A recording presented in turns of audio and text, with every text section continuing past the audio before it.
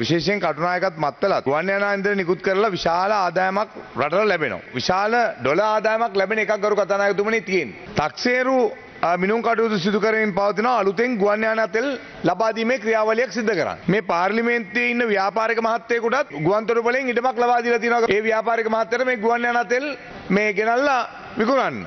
Business කර මන්ත්‍රී මහත්තුරු ඉන්නවනේ මේක ඇතුලේ. ඒ කට්ටිය. නම නම නමහනොය මහත්තයා ඔබතුමාලගේ ජාත මේ ජනාධිපති අපේක්ෂක. මම ඔබතුමායෙන් අහන්න කැමති ජාතික ලයිස්තුවෙන් ආව මන්ත්‍රීවරයෙක්ද? ව්‍යාපාරිකයෙක්ද? ඔව්. ජනාධිපති අපේක්ෂකමේ තාමත් ඉන්නවද?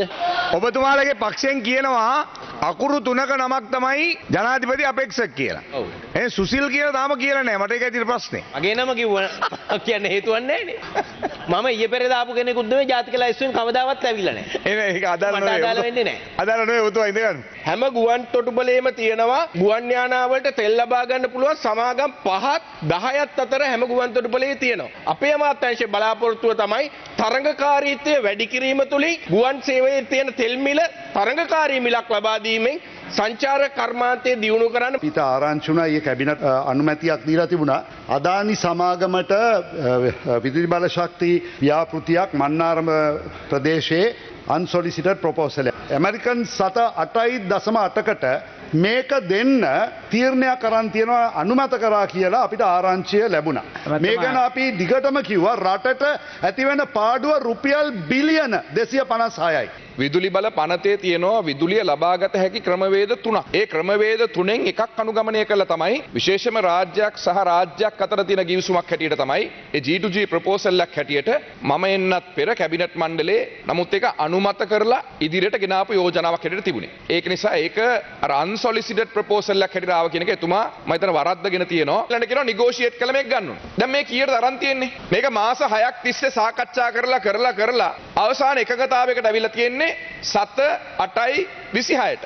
දැන් මේ පුනර්ජනයේ බලෙන් මෙගවොට් 500ක් එන එක අපිට අලාභද? අලාභය හදන්න ඕන අපි කොහොමද? මේ ව්‍යාපෘති ආවේ නැත්නම් අපි ඩීසල් වලින් දැවිතෙල් වලින් හදලා වෙන අලාභය. අපි පැහැදිලිව කියනවා මේ අදානි ව්‍යාපෘතිය තුලින් විදුලි බලය අපිට ගේන්න පුළුවන් නම් අපේ විදුලි බිලට දැනෙන සහනයක් ලබා දෙන්න පුළුවන් දැවන්ත ව්‍යාපෘතියක් බවට ඒක පත් වෙනවා. ඇමතුමාගේ කතාවේදී එතුමා කියා හිටියා රුපියල් 37ට ගන්න ඒකකය අඩුවේ යුතුයි කියලා. අඩුවේ යුතුයි කියලා ඇමතුමනි අපි ඒක පිළිගන්නවා. අදානිත් එක්ක මේ දත් කහපු ගිවිසුම යටතේ තමයි 8කට ස- රුපියල් 24කට විකුණන්න හදන්නේ. ප්‍රායෝගිකව මිල අඩු කර ගැනීම සඳහා වූ වැඩපිළිවෙල තනිකරම ෂට් අවුට් කරන්නද ඔබ මේ ගෙනෙන සංශෝධිත පනතෙන් බලාපොරොත්තු වෙන්නේ කියන එක මට තියෙන ප්‍රශ්නයක්. මං කිව්වා පහුගිය අවුරුද්දේ ටෙන්ඩර් කරාම රුපියල් 55යි 60යි ආවේ. මේ අවුරුද්දෙන් දවස් 3කට 4කට ඉස්සෙල්ලා ටෙන්ඩර් කරාට පස්සේ අපිට රුපියල් 24 25 ඇවිල්ලා තියෙනවා. ඒක වෙන්න නම් අපේ රටේ ආර්ථික ස්ථාවරභාවයක් එන්න ඕන. ඒ ස්ථාවරභාවයත් එක්ක ටෙන්ඩර් එකේ හොඳ මිලක නම් එයි. හැබැයි ඒ අතරතුර ආයෝජකයා ගේන්න වෙන අපේ පද්ධතිය කරගෙන යන්න.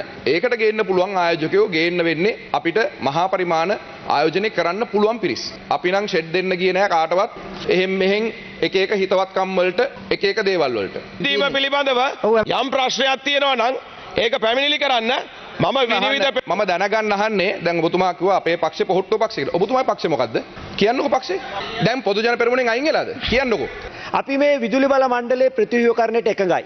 මේක අනිවාර්යෙන් ප්‍රතිව්‍යුහකරණය වෙන්න ඕනි. මෙතන හැමතැනම පත්වීම් කරන්න ඇමතිවරයා ඇමතිවරයාගේ බලතල ඉවත් කරලා මේව ස්වාධීන ආයතන කරන්න ඕනි කියලා. ඒ අදහසට අපි විරුද්ධයි. දැන් මේ දේශපාලකයන්ගේ ස්වාධීන කරන්නලා කාටද බාර දෙන්න යන්නේ?